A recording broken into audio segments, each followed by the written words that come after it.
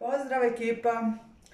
Danas ćemo raditi efekt drva na bordu. To je jedna tehnika koja je meni izuzetno draga. Podiže svaku tortu, od one najjednostavnije dječje pa do, ne znam, pričesti krizme. Uvijek će vam taj efekt drva u bilo kojoj boji ga radili podignuti tortu. Malo sam promijenila raspored snimanja zbog dužine videa i tako dalje i tako bliže, ali svejedno sve ću napraviti. Ovako. Krećemo sa tim da smo prekrili bord sa fondanom. Na friško prekriveni bord krećemo raditi. Znači ne ostavite ga da se posuši jer vam onda ti utori koji ćemo raditi neće biti tako lijepi. Radit će vam se gore ona korica i neće biti fino. Znači, uzmite nekako ravnalo, bilo što slično i radite daščice. Znači ovu deblju stranu. I sad, to ne mora biti ništa previše precizno, radite ove široke daske.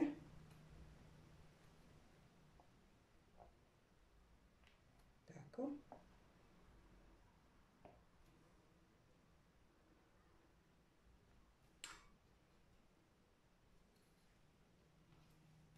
Tako. Ako jednostavno uzmete ovaj drezden, tu nismo baš. Najvažnije vam je zapravo na ovim kantunima ili čoškovima napraviti dobro te utore, jer je zapravo to onaj dio koji se vidi ispod torte. Ovo u sredini se obično ne vidi, jel? Tako. E sad, uzimamo drezen, malo pojačamo te utore. Pa i proširite ako vam se sviđa. Oni moraju biti jako naglašeni. E sad, Obično na drvu vidite one okrugle utoriće, kako se zovu? Da, da, kako se zovu oni okrugli utori, e, ali, bolje vam je da to izbjegavate, znam iz iskustva, znači znam se zaplesti to godovi, da, godovi ne izgledaju uopće lijepo kad ih odradite na fondanu. Znači, držite se jednostavnih linija. Evo ovako. Znači, ravne linije koje se Znači to ne morate preprecizno raditi. Pa ih spajate negdje, pa negdje stavljate gušće, negdje rijeđe.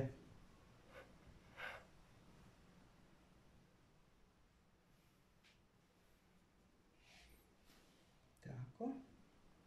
Ali uglavnom idite ravno, ok, malo koso da, ali nemojte raditi one okrugle, barem za početak.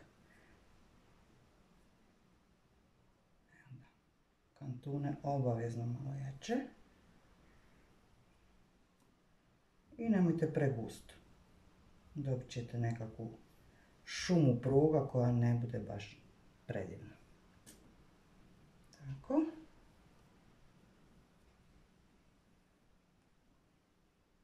Sad to nisam baš precizno napravila ali shvatili ste valjda bit. E sad, tu i tamo napravite nekakvu rupicu, kako to u drvu obično biva. Možete napraviti brokvicu, od tiga šaraf staviti. Svašta nešto se tu može. Bitno da ne bude baš jednolično. Barem se meni to tako sviđa. Sad ajmo ponoviti još samo malo ove pruge glavne, jer one se izgube lagano. Tako. I idemo na bojanje. Ovo je stvarno brzo, a jako efektno. I možete pripremiti unaprijed. Ja ovo dosta koristim i na torti, ali za početak vam je bord ok. Znači, ja sve bojam sa 96% alkoholom i bojama za braš. Ovako. Krećemo sa najtamnijom bojom u paleti koju imate. Da li je to, ovisni koje ćete tonove odabrati, ja ću smeđe. Pa ću najtamniju smeđu koju imam. To je moj dragi Americolor. I kist obavezno kada koristite alkohol, koristite stari kist. Znači, bilo kakav najbolji kist vam alkohol pojede. Znači, kupujte jeftine kistove.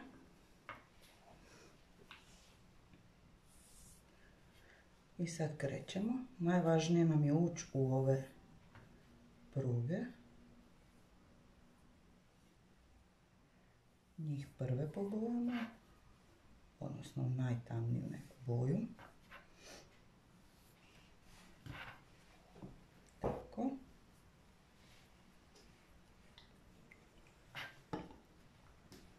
Kada bojate s alkoholom, boja se jako brzo suši i možete raditi drugi sloj. To milina s alkoholom. Tako. Još malo boje. E sada ćemo sve pobojati.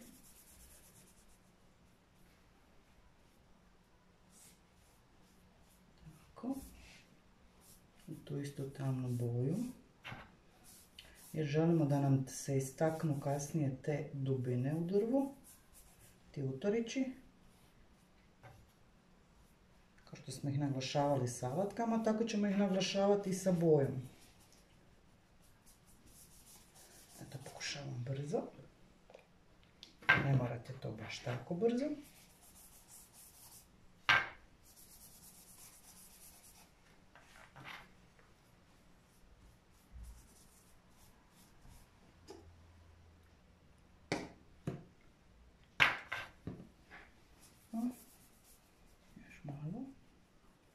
Mogla sam i veći uzeti.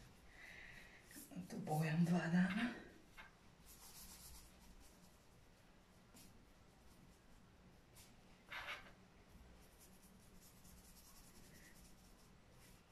Tako.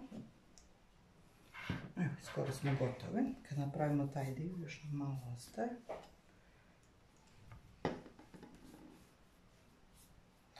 Znači boje za braš su vam super za to bojanje po torti jer se jako brzo suše. Gelom ni u ludilu. Pogotovo kad ga pomiješate sa alkoholom, on vam se zgrudva većinom. Možete bojamo u prahu ako ih imate. Rastvorite ih u alkoholu i onda opet sa alkoholom. E dobro, to je taj prvi dio. Sad idemo na drugi dio. Ovo je moj dragi, najdraži dio.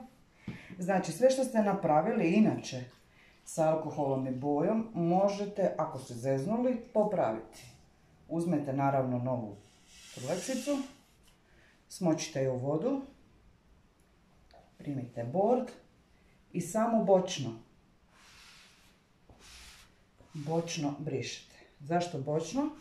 Jer ako idete od gori, pobrisat ćete ove boju koja vam se zadržala u utoru, a to nam je bio cilj. Da ostane boja u utoru, a da izvana dobijemo taj svjetliji dio. Ma bravo, ma bravo, ja sam to junački. svjetliji dio drva, to se sve može popraviti. Dobro, malo sam namočila dobro. Znači površno boja, boju dižemo. Naravno ruke će vam biti prljave.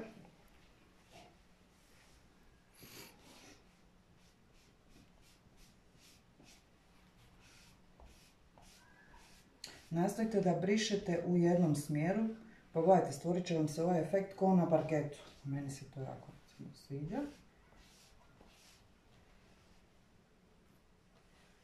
To je skoro to. Ovisno koliko svijetlo želite. E sad, kad vam se to mrvicu prosuši, nemojte dozvoliti da vam se desi, ja sad baš brzam. E, kad vam se to mrvicu prosuši, onda možete eventualno dodati neki ton. Na primjer, ja bi na ovo dodala mrvicu, mrvicu razrijeđene crvene. Onda bi dobili, ajmo reći, mahagoni nekakvu boju. Ili mrvicu žute.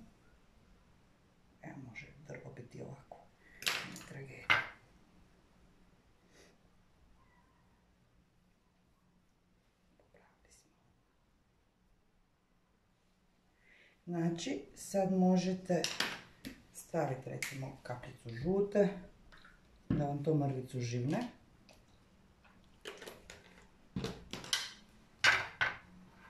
Malo će ipak biti svježija boja.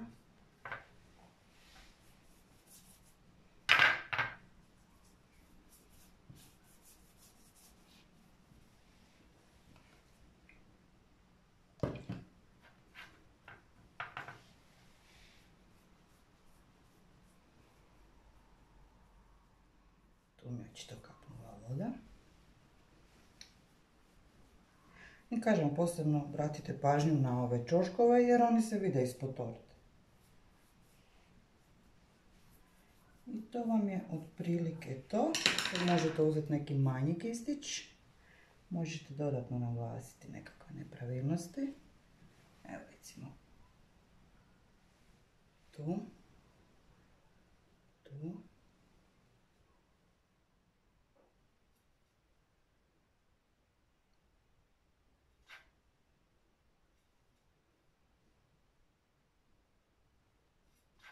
I na kraju svega, nemojte mi zaboraviti staviti satensku traku, to vam je kao okvir na sliku. Evo na ovo vidite recimo neka smeđa traka i to je to. Eto, nadam se da ste nešto naučili, da vam je bilo zabavno. Pa pa!